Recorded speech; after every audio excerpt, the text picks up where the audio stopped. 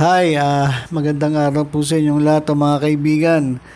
Ito pong unit team, BBM Sara, ay uh, nag-post po na sila daw po ang uh, opisyal na iniendorso ng Iglesia ni Cristo. At uh, sabi nila dito, it's official, Iglesia ni Cristo suportado ang Marcos Duterte tandem matapos makuha ang isang mensahe mula sa loob ng INC. O nag-post po sila. Ito po ilalagay ko po sa screen ko mamaya yung kanilang post. At uh, sabi rin po ni Rod Olarte, no, isa po atang media to eh. Hindi ko hindi ko naman kilala to eh. Pero sabi niya, the unity finally got the endorsement of the powerful congregation Iglesia ni Cristo for the support of May 9, 2022 electoral exercise. Sabi pa ni Rod Olarte ay uh, official declaration will follow late afternoon today. So hintayin natin. Uh, malay mo, totoo yung sinasabi ni Rod Olarte na mamaya mamaya daw ang official declaration ng Iglesia ni Cristo. Pero sa ngayon wala pa. Kaya marami rin ano, marami rin pong kumukontra do sa statement ni Rodolarte at nitong uh, ah, BBM Sara Uniteam.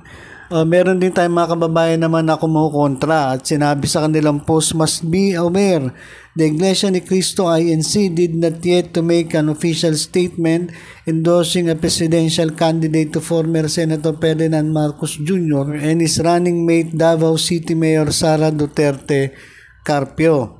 Oh, Marcos spokesman Victor Rodriguez said there was no communication between Marcos Camp and the INC in a chance interview before the unit team's proclamation event. So wala pa po talagang official statement itong uh, Iglesia ni Cristo. So abangan natin, 'di ba? Di natin alam kung nagkakalat sila ng fake news o baka naman talagang meron nang narinig sila dun sa source dun sa loob ng ano ng pamunuan ng Iglesia ni Cristo. Ay sabi nga ni Rod Olarte ay uh, ay uh, mamaya daw hapon ang official endorsement na gagawin ng Iglesia ni Cristo. Pero sa ngayon mga kaibigan, wala pa. Wala pa pong uh, official na statement itong uh, Iglesia ni Cristo. Ito po, sabi ng isa pa nating kababayan, wala pa pong nilalabas na sirkula sa pag-endorsement naming mga kapatid sa INC. Sa Wednesday, sa pagsamba, ang pinakamaaga na malalaman kung sino ang dadalhin po namin sa darating na eleksyon sa May 9, 2022. Ang sabi naman ng isa pong uh, siguro kapatid po ito sa iglesia, ang sabi po niya ay uh, pinakamaaga ay Wednesday sa pagsamba. Pinakamaaga nilang uh, uh, pwedeng mag-endorse ang iglesia ni Kristo. So, Abangan natin, iba-iba eh. Iba-iba yung sinasabi nila eh. Sabi nung iba, mamayang hapon daw. Ito naman ang sabi, uh, Wednesday daw ang pinakamaaga. So, abangan po natin.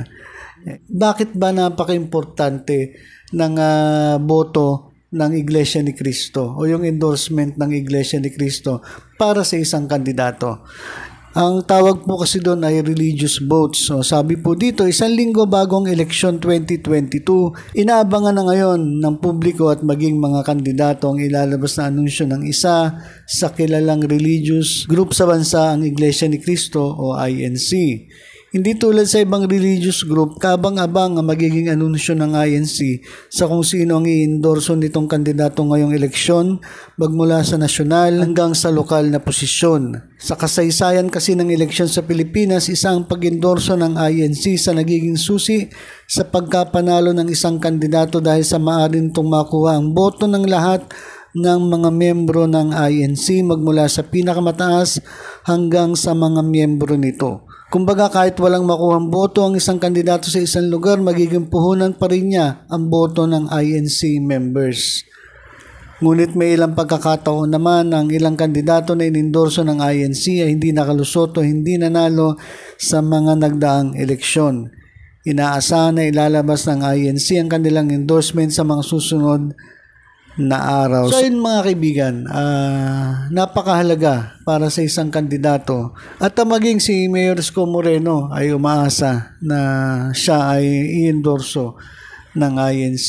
Katulad nung nangyari noong 2019 nung siya ay kumandidato bilang mayor ay uh, ang suporta ng INC ay napunta sa kanya. Kaya naman kitang-kita po natin na na nilampason ni Mayor Isko Moreno, si Era Estrada at itong si Alfredo Lim at naging pinakabatang mayor ng Maynila. At uh, hindi naman po nagkamali ang Iglesia ni Cristo sa pagpili kay Mayor Isko Moreno noong 2019. Kaya naman po, ngayon ay uh, umaasa si Mayor Isko na magpatuloy ang uh, pagsuporta sa kanya ng Iglesia ni Cristo. Ngayong uh, uh, siya'y tumatakbo bilang Pangulo ng Bansa. So abangan natin, uh, wala pa po talagang ano, uh, official na statement ang Iglesia ni Cristo. So ito pong pinost ng ano ng uh, Unity BBM Sara fake news po ito. Huwag po kayong maniniwala. Marami po nga nagsasabi na totoo, pero marami rin po nagsasabing hindi totoo. So pinakamaganda po talaga ay hintayin natin ang statement ng uh, pamunuan ng Iglesia ni Cristo. Hello mga nanonood dyan, mag-subscribe po kayo sa Batang Maynila Toys. Ay, mali, ganyan pala.